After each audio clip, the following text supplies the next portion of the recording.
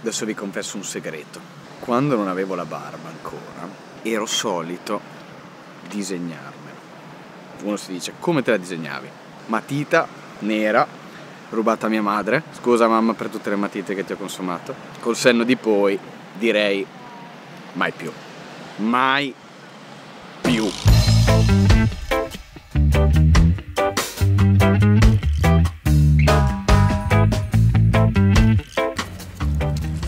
Godo un buon caffè nel mio bar preferito. Preferito perché chiaramente con il mare dietro non potrebbe essere altrimenti. Peccato che il mare io lo possa vedere solo così, come mi vedete, sia molto vestito, anche troppo. Pantalone, maglietta maniche corte, questa è la porzione di carne che rimane scoperta da qui a qua, basta. E questo è il massimo di sole che posso prendere. C'è il Guinness World Record a Rimini delle persone che si svestono in maniera più veloce per buttarsi in acqua.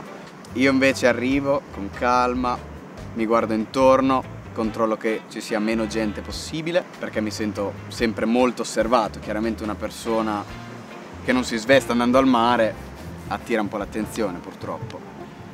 Addirittura una volta, prima di iniziare la transizione, quindi prima di prendere ormoni, eh, ero ad un bar con due miei amici e vedevo due ragazzi da lontano che sghignazzavano, mi indicavano, al che uno a un certo punto si avvicina e mi chiede senza mezzi termini ma sei un maschio o una femmina?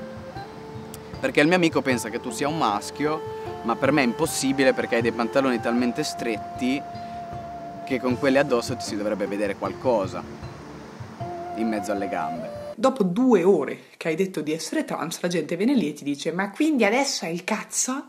Scusa se ho tardato a rispondere, stavo innaffiando la mia pianta di cazzi.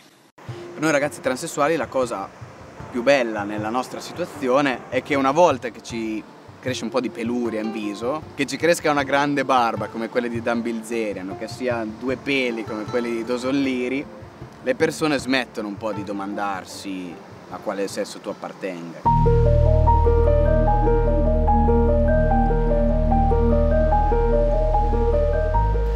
Abbiamo un trucco noi ragazzi transessuali per farci crescere la barba, chiaramente. Ed è questo.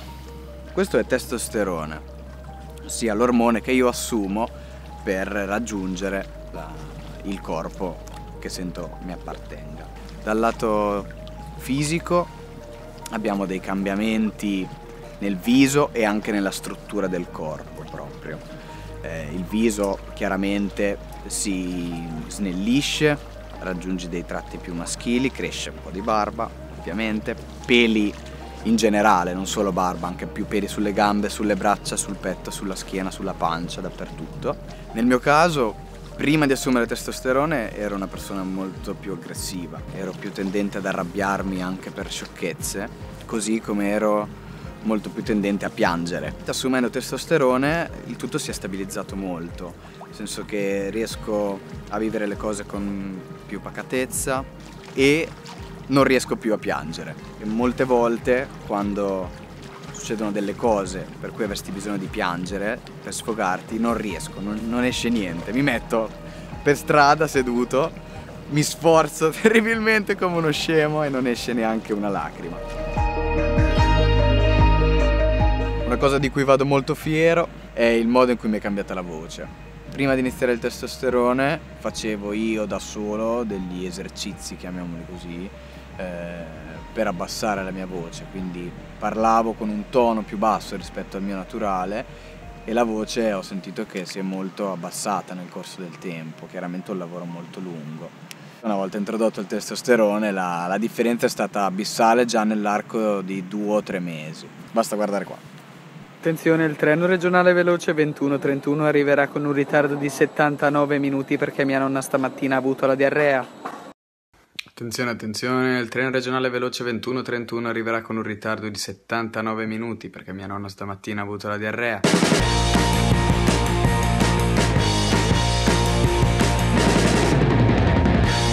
Il rapporto con il mio corpo è sempre stato molto travagliato. Eh, negli anni precedenti alla transizione mi sono sempre visto un po' come fuori posto, come se il mio corpo proprio non avesse niente a che fare con me Nonostante tutte le difficoltà, il mio vedermi male allo specchio, eh, comunque mi rendo conto che per quanto riguarda la società, ossia il modo in cui gli altri mi vedono, io ad oggi passo bene come ragazzo. Passare significa che le persone non si chiedono neanche più a quale genere tu appartenga la prima volta che ti incontrano. E questa penso sia, o almeno per me lo è, la più grande soddisfazione per una persona transessuale. Adesso sono a un anno e un mese di terapia precisamente, però il mio rapporto con il corpo è ancora molto difficile, ancora non riesco a vedermi bene. Io ho deciso di sottopormi sia alla mastectomia che all'isterectomia perché lo sento che il mio corpo deve subire queste modifiche. Secondo me ad oggi la falloplastica è l'operazione più complessa Purtroppo la chirurgia è ancora molto indietro per quanto riguarda la falloplastica non si riesce ad arrivare ad un fallo che sia simile a quello biologico. Sono operazioni molto invasive che finché rimangono nell'immaginario e non si concretizzano ci si rende bene conto di che cosa veramente significhi. Io stesso non l'ho ancora fatto ma sento che quel momento cambierà la mente resistenza ho realizzato che Dio esiste proprio al compimento del mio primo anno di terapia, quando ero pronto a fare la mia dodicesima iniezione e prendendo la fialetta in mano, Dio ha permesso che cadesse e si frantumasse. Grazie Dio di aver permesso che le fialette venissero create in questa maniera così fragile, che a solo guardarle si frantumano, e soprattutto grazie di avermi rotto proprio la cosa più importante nella mia esistenza, proprio l'ultima fiala che avevo disponibile veramente, grazie. Questo messaggio a Dio proprio. Purino che in realtà non c'entra niente, sono io che sono anche imbecille, però.